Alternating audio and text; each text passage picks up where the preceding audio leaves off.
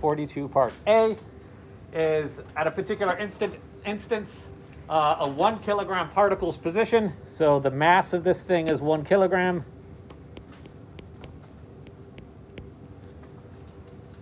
Is at a position R. R is a vector. So we're going to write this as 2.0 in the i hat minus 4.0 in the j hat plus 6.0 in the k hat.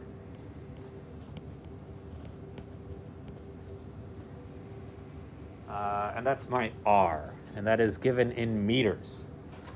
Its velocity, so they give us a velocity vector for this particle, is v equals negative 1.0 i hat plus 4.0 j hat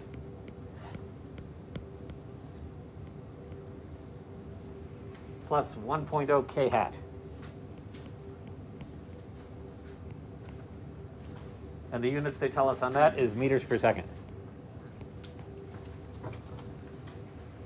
And there's a force on it, and that force, F, they give us a vector for this, is equal to 10.0 i hat plus 15.0 j hat.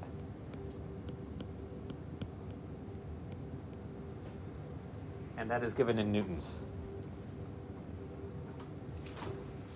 And part A wants to know what is the angular momentum of the particle about the origin. So we need to find the angular momentum.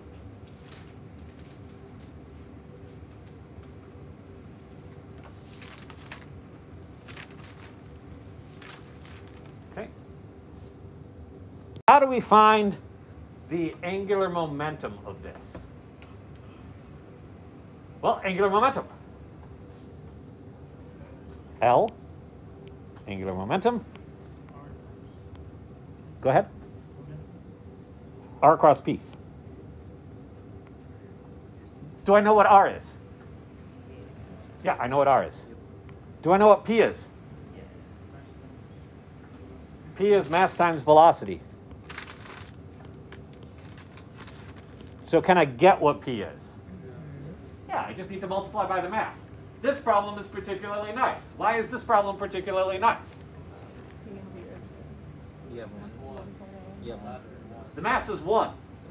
So the equations mathematically are essentially the same. They're not the same because you multiply it by kilograms, so then the units of the momentum are kilogram meters per second. Okay? But mathematically, it's just like you're multiplying by the v. So we need to do r cross p.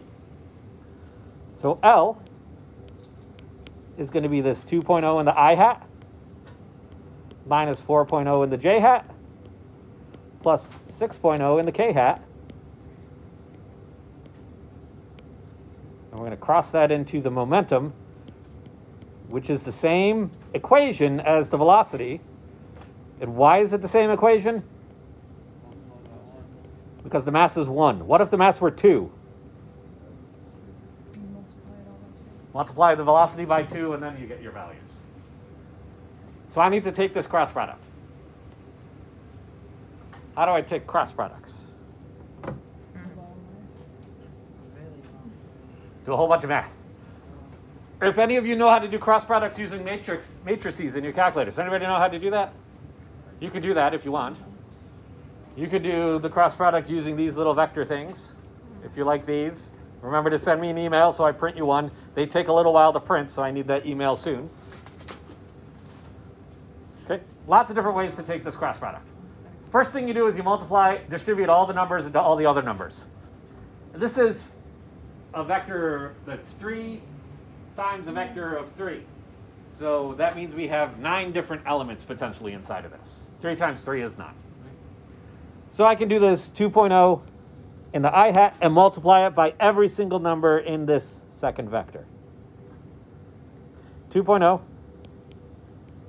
times negative 1.0 and then I do the cross product of the letters. I hat cross I hat.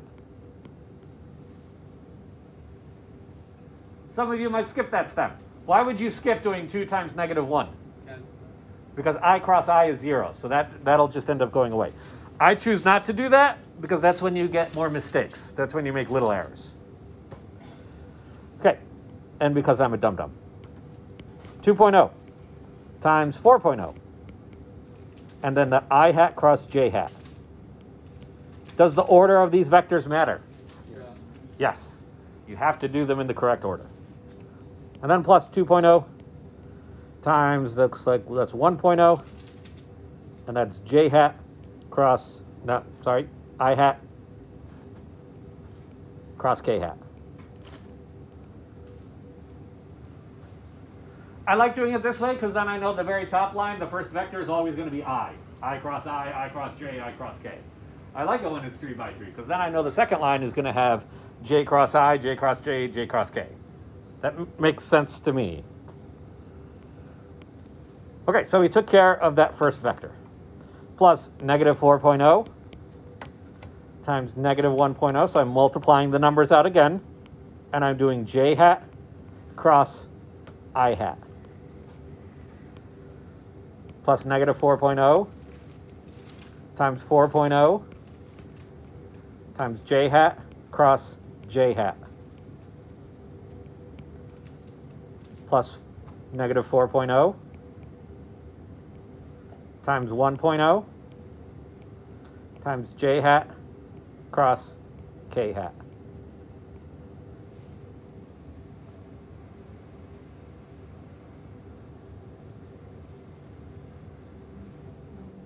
That gets takes care of the second vector.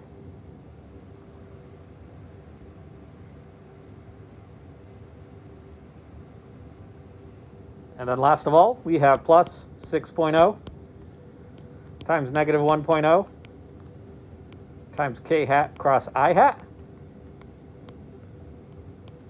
plus 6.0 times 4.0 times k hat cross j hat plus 6.0 times 1.0 times k hat cross k hat.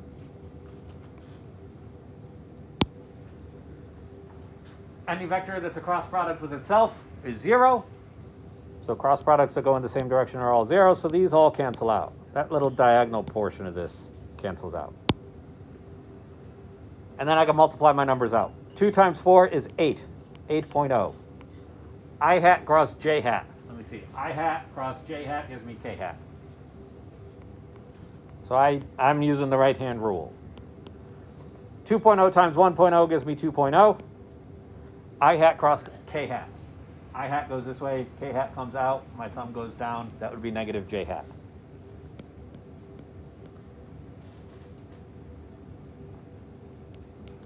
Plus negative 4 times negative 1 gives me positive 4.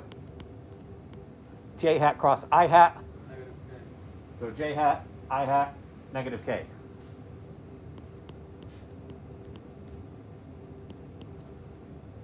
Negative 4 times 1 is negative 4.0. J hat cross K hat. So that's uh, J hat cross K hat gives me I hat. 6 times negative 1 is negative 6.0. K hat cross I hat. K hat, I hat gives me J hat. And 6 times 4 is 24.0. K hat cross J hat. K hat, J hat gives me backwards I, negative I hat.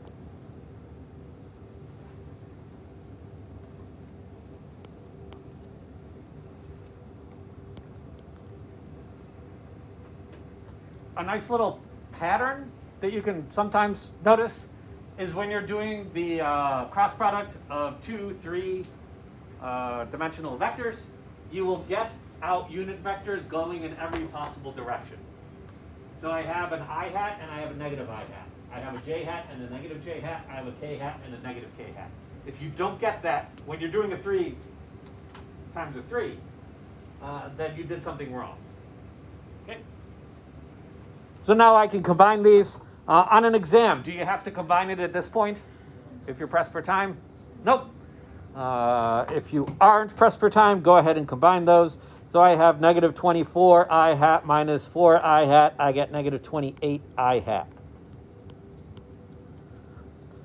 And then I have a negative 6j hat uh, plus a negative 2j hat. So I get a negative 8.0 j hat. And then an 8k hat minus 4k hat gives me a 4k hat.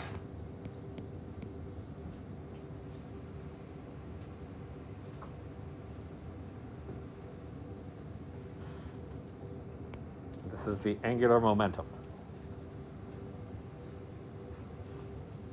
What are the units of this?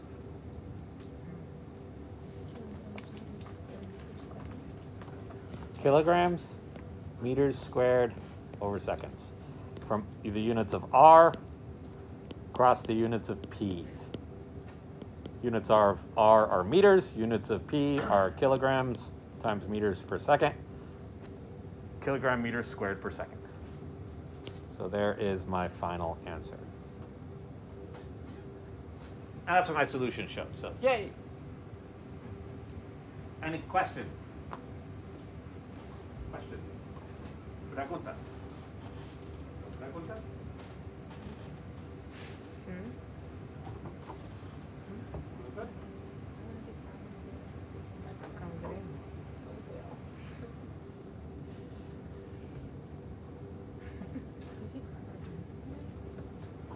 Quick question. Part B, what you're supposed to do in class asks you to find what is the torque. Uh, how do you find torque of something? R cross F. Do you know what R is? Yes. Let's go up. We know R. Do you know F? Yes. Do you have to multiply by the mass or anything like that? Nope. So I just take the cross product of these two. Am I going to have vectors going in every possible direction when I do this cross product? I have three directions in the R vector. How many do I have in the F vector? Two. So you're not going to have I, negative I, J, negative J, K, negative K.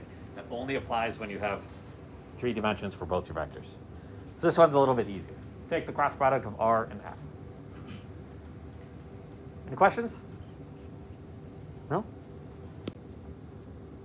On Victor's request, like, subscribe, and hit that comment and hit that little bell to be subscribed to see whenever we have new videos coming out.